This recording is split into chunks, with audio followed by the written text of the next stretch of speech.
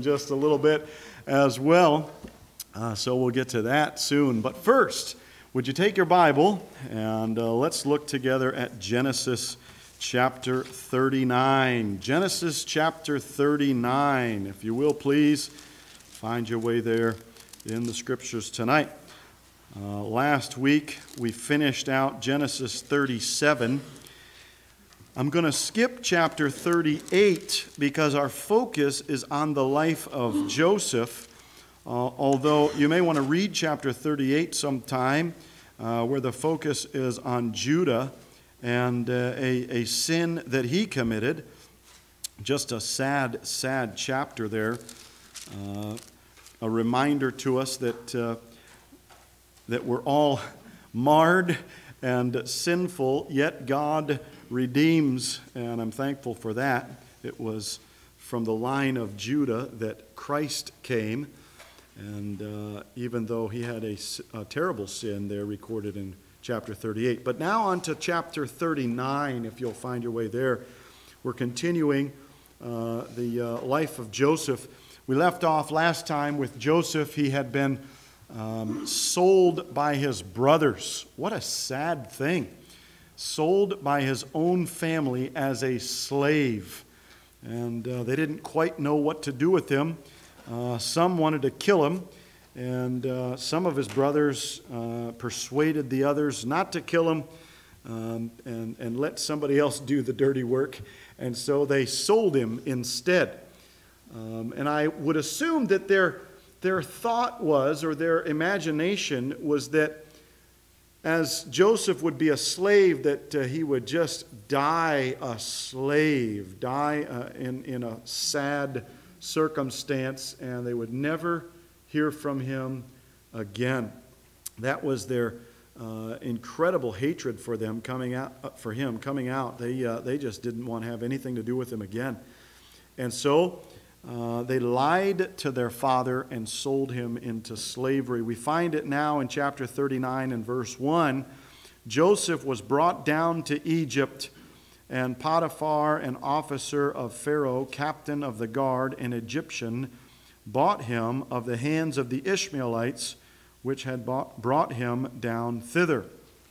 Uh, and it's interesting uh, sometimes we have the, the thought or the question how did, the, how did the Jews end up in Egypt? How did they end up there? Because oftentimes we think about Moses and Exodus and all of that stuff, and, and it's all very fascinating to us, but we don't often think, how did they get there in the first place? And here it is. This is how they got there sold.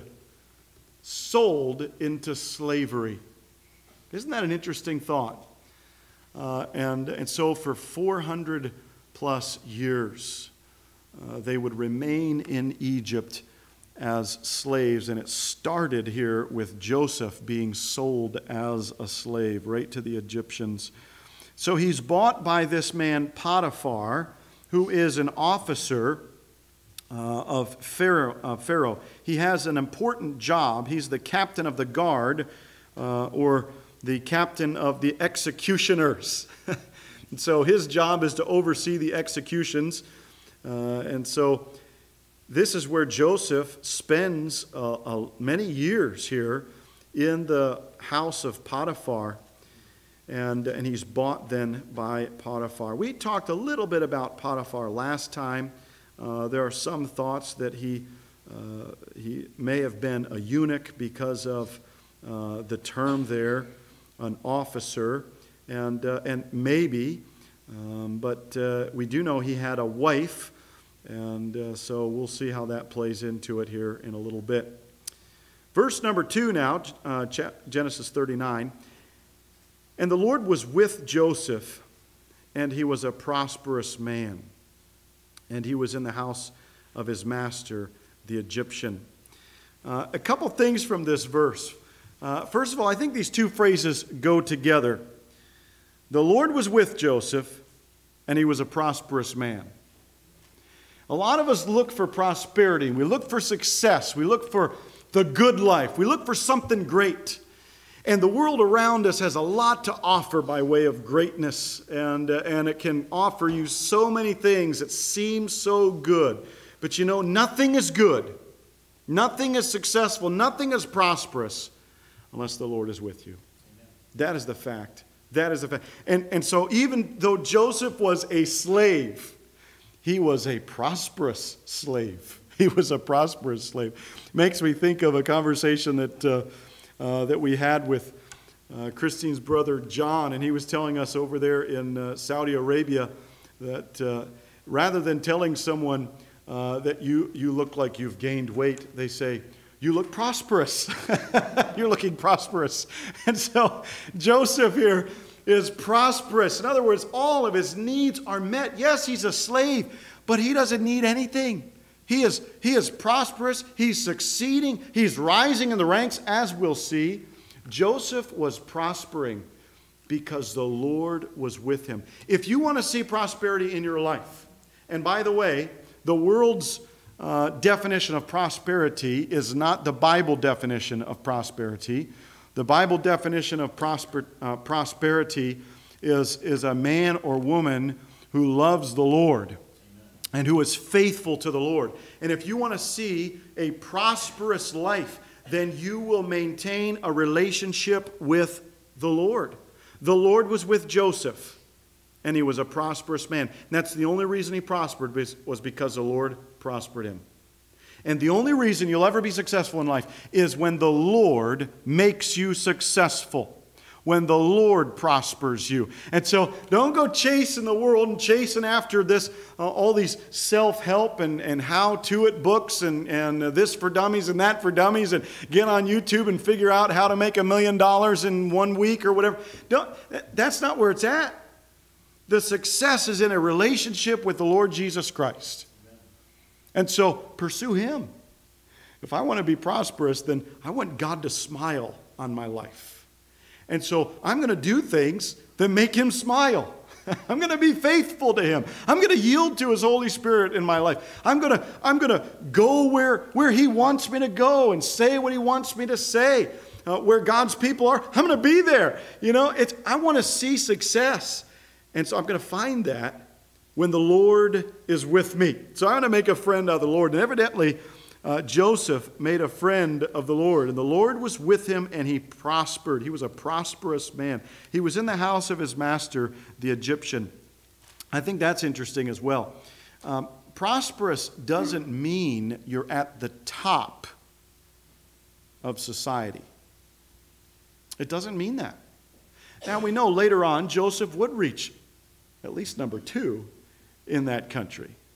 But he was called a prosperous man here while he was a slave. And they go, oh man, I'll never get ahead. I've got this job and I can't make any money and it's just not worth it. And society's against me and everybody's against me and, and my life is just going horrible and it's just never going to be good for me. Your prosperity has nothing to do with your, your circumstances, but has everything to do with your relationship with the Lord.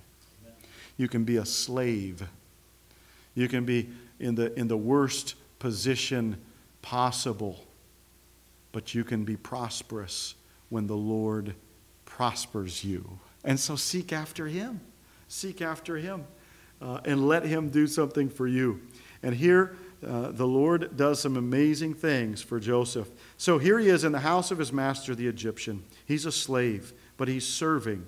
He's serving. Verse 3 And his master saw that the Lord was with him, and that the Lord made all that he did to prosper in his hand.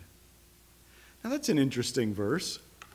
His master saw that the Lord was with him. What does that mean exactly? Uh, could it be that Joseph gave glory to the Lord for his prosperity? A lot of people prosper in the world's eyes today, and they say, Well, that's because I worked hard all my life. And I did this, and I did that, and I am I'm really somebody because I really worked and I I never quit and I always kept going and I did this and I did that and I did and that's why I'm a success today. But not so with Joseph. Joseph was prosperous, and everybody around him, including his boss, said, You know why he's prosperous? Because the Lord's with him. And I have to believe that's because Joseph said, The Lord is blessing me.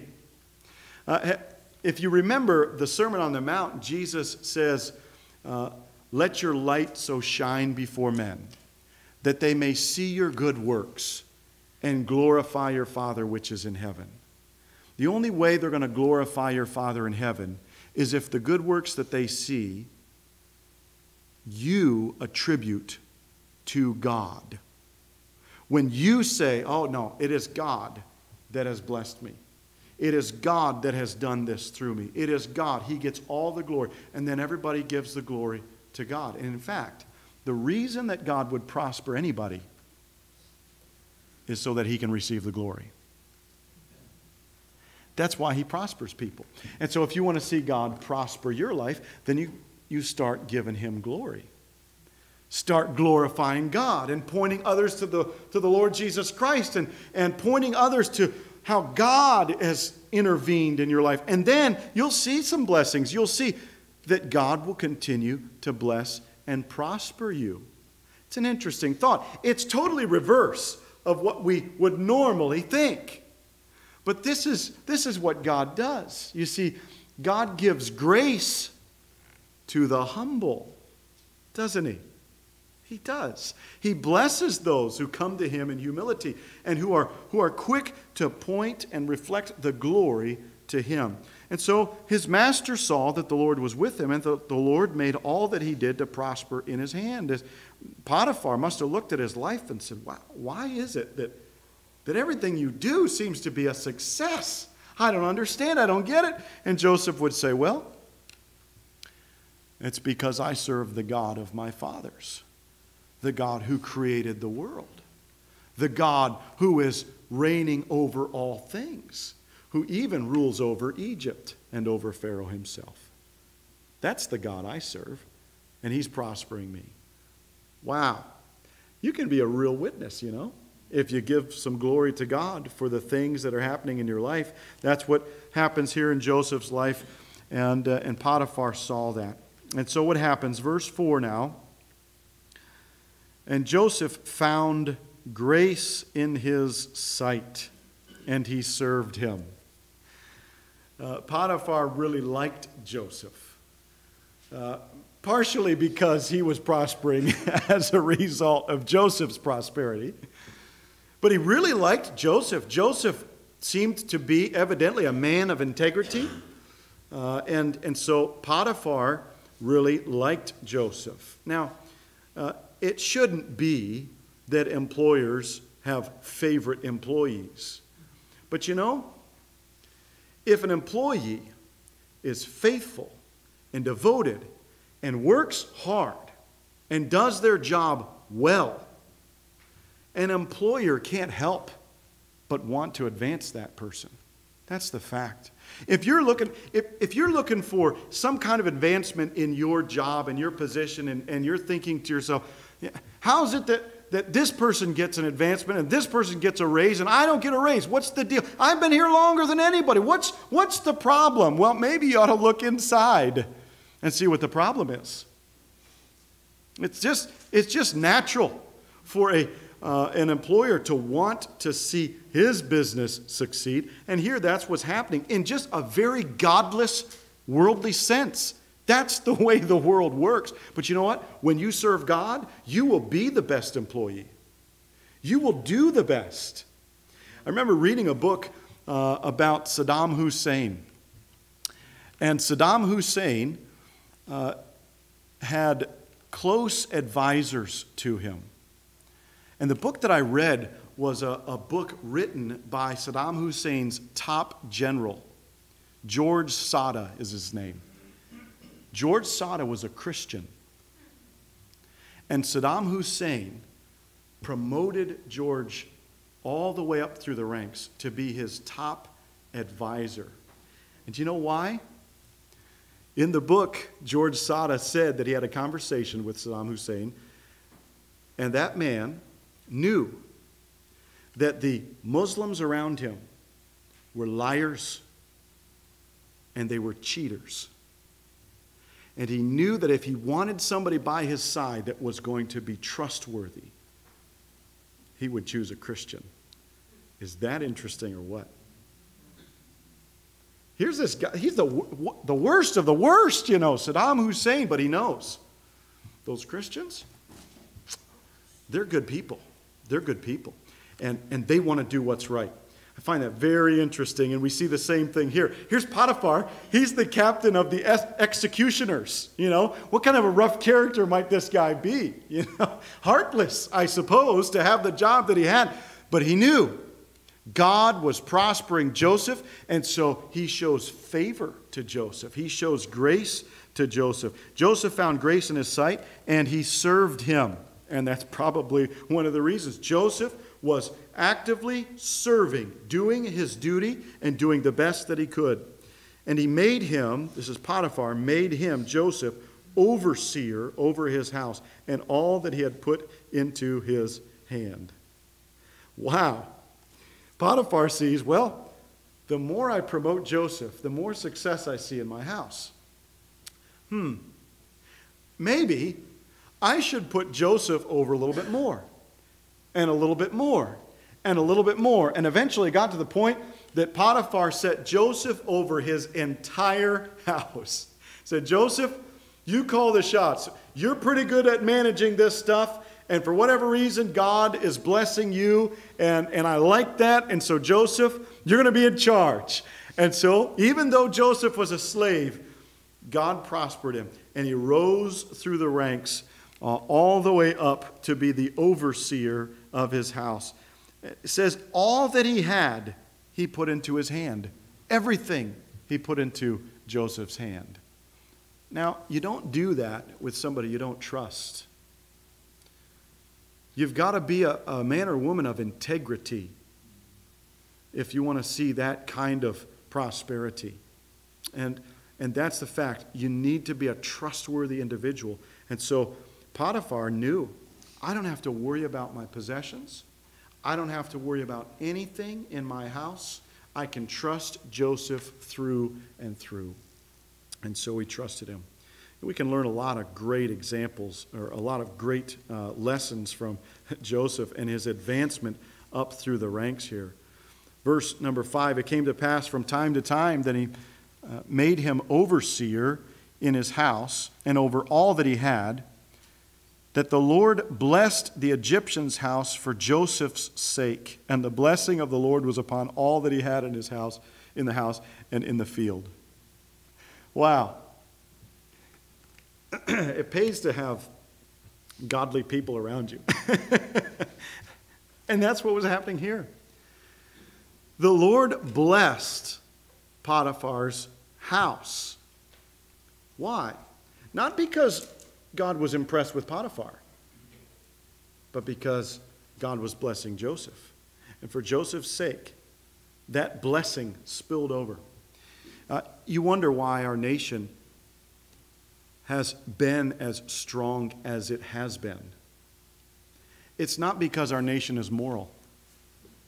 No, no, not at all. It's not because our founding fathers were shining stars of morality either. No, that is not it. But it is because, in my estimation, this place was a place where God could advance his church and his ministry. And there was freedom here for that. And so God continued to bless this place so that God's work would continue to advance. And over the years, the United States became the, the number one country sending missionaries around the world. And I believe that may still be the case today, although you wonder how things are going now. Why does God bless America? Well, it's not because we're a good nation. It's not because we're better people than anybody else. It's not because of our incredible Constitution, although it's wonderful. And I'm a patriotic American, and I love our Constitution because it takes into consideration that man is sinful and we need accountability. And that's why it's so successful. But God can remove that blessing anytime. If God chooses to bless something or someone, it's because He receives glory and His work is advanced. And, he, and the blessing on this country, I believe, has spilled over because God has been blessing His people here, His church here. But as his church begins to turn away from him, well, perhaps God will remove his blessing as well. It's an interesting thought. But that's exactly what happens here in Potiphar's house. Potiphar's house was blessed not because he was good, but because Joseph was blessed of the Lord. The blessing of the Lord was upon all that he had in his house and in the field. Everything that he had, it was blessed. And so, verse 6 he left all that he had in Joseph's hand, and he knew not aught he had, save the bread which he did eat. And Joseph was a goodly person and well favored. Potiphar was so trusting of Joseph that evidently he didn't even check the books. He didn't even look at the accounting. He knew Joseph would do well. He knew Joseph was blessed of God. He knew Joseph was a man of integrity and a, and a, and a man of honesty. And so Potiphar just thought, I'm not even going to worry about it. And he didn't even know what he had. He had no idea all the blessings that he had. He just knew, well, I got the food when I need it. I'm a happy man. And he was okay. and so God blessed him. Why? For Joseph's sake. Boy, I want to be a man like Joseph, where God blesses and God sends his prosperity. And I want to, I want to be around people that God blesses. I want to be around people where they are giving glory to God because I know God's going to bless them too. And maybe some of that blessing will rub off on me a little bit, you know? Maybe I'll, I'll uh, be able to benefit a little bit from God blessing somebody else that I'm near. I want to be around godly people. I want to be around people of integrity and people that give the glory to God. And so maybe tonight you're thinking, well, I, I just don't know if my life's going the right way. And I don't know, maybe you're a young person making decisions. I don't know uh, what's going to happen in the future and what the direction is going to be for me. I'll tell you this choose godly people to hang around, be a man or woman of integrity, and give glory to God. Give Him the glory, and you will see that prosperity. And, uh, and God will always be faithful. All right, let's bow our heads and pray. Thank you, Father, for showing us some some great truths in your word here from the example of Joseph. And it's amazing for us to think how you blessed incredibly the house of Potiphar for Joseph's sake. I pray that you would put it in our hearts to be that kind of people, that we would have great integrity, that we would give you glory, that we would surround ourselves with godly people. Lord, I pray that we would see blessings in our lives and that we would not make the mistake of claiming credit for ourselves, but that we would reflect that glory to you, knowing that everything good, every perfect gift comes from above, from you, Father. And so we give you honor, we give you glory, and we look forward to what you're going to do in our lives as we do that. We pray all this in Jesus' name. Amen.